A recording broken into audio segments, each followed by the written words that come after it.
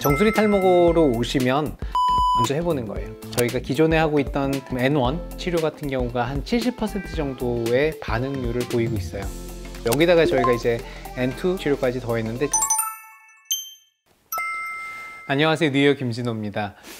어, 정수리 탈모 때문에 고민이 많으시죠? 오늘은 정수리 탈모를 치료하는 방법에 대해서 어, 설명드리도록 하겠습니다. 많은 분들이 고민하시죠. 여성분들도 많이 고민하는 주제예요. 근데 어, 일단 유전성 탈모 때 가장 먼저 생기는 느껴지는 탈모 부위 중에 하나거든요. 왜냐하면 정수리 가마가 있잖아요. 그리고 우리가 정수리를 따라서 가름마가 있죠. 근데 여기는 이제 머리가 덮이지 않는 부분이란 말이에요. 그러니까 다른 부분은 이런 데는 머리가 덮여서 내려오니까 탈모가 생겨도 잘 가려지죠. 이렇게. 근데 가르마는 덮이는 머리가 없어요. 그래서 바로 노골적으로 우리가 모발 상태를 가장 먼저 볼 수 있는 곳인데 남성분들은 앞쪽 M자도 이렇게 올라가고 여기가 없어지니까 여기가 제일 먼저 보이지만 남성분들 중에도 정수리도 같이 진행되는 분이 있고요. 그리고 여성 탈모는 앞라인이 유지돼요.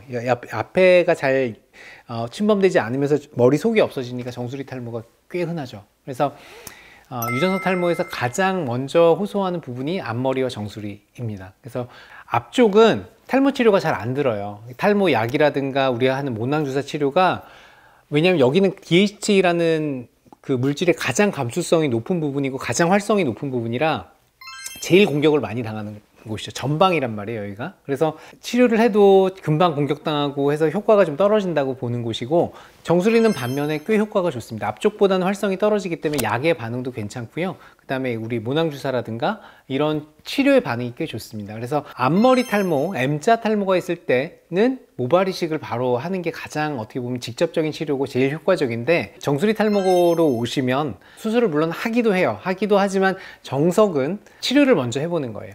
가장 기본적으로 이제 탈모약 치료가 있겠죠. 남성은 프로페시아나 아보다트 중에 하나, 미녹시딜 그래 이 정도를 일단 기본으로 하고 여성에서 미녹시딜밖에 없으니까 요걸 일단 메인으로 하고 반응을 보는데 특히 여성에서는 좀 약해요. 남성도 프로페시아 아보다트만으로 도 모자라는 경우가 있고요. 이런 경우는 이제 저희가 이제 모낭 주사 치료라는 거를 하고 어, 또 레이저 치료라는 거를 하게 되죠.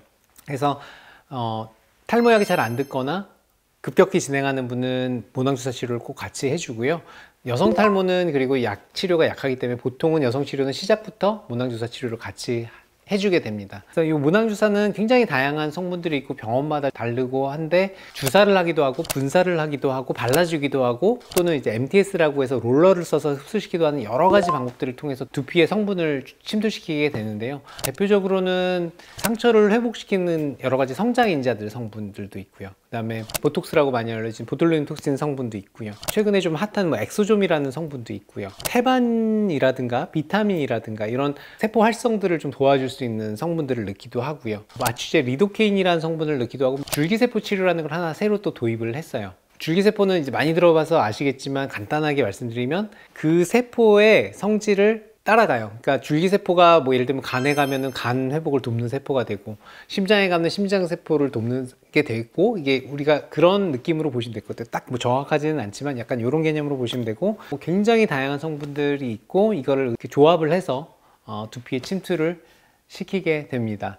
모든 환자에서 지금 말씀드린 치료 효과가 100%다라고 얘기할 수 있는 치료는 없지만 저희가 기존에 하고 있던 N1 모낭 주사 치료 같은 경우가 한 70% 정도의 반응률을 보이고 있어요. 탈모 치료계에서는 굉장히 높은 수치예요. 탈모 치료율 보통 우리가 치료했을 때 30%만 넘어가도 대박이라고 했었는데 저희가 이제 논문 때문에 통계를 조사하고 있는데 70% 정도가 넘어가거든요. 근데 저희는 굉장히 고무적으로 보고 있고 여기다가 저희가 이제 N2라고 하는 세포 치료, 줄기세포 치료까지 더했는데 줄기세포 치료도 지금 현재 보고된 바에는 50%에서 70% 정도 된다고 하는데 저희가 이제 모발 이식을 하는 병원이다 보니까 그런 세포 다루는 것과 그다음에 저희가 모낭 주사를 제가 워낙 많이 하니까 그런 주사하는 기술이 뛰어나다고 생각해요. 그래서 사실 더 큰 기대를 하고 있습니다.